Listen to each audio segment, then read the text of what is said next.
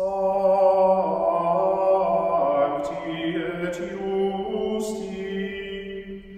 in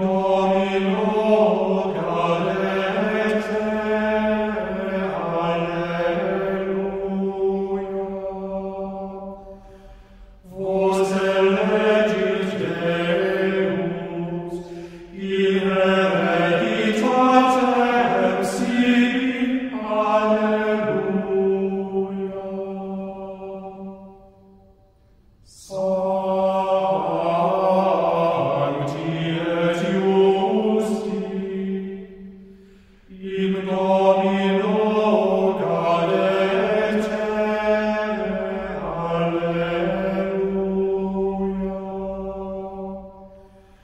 vos elegiteus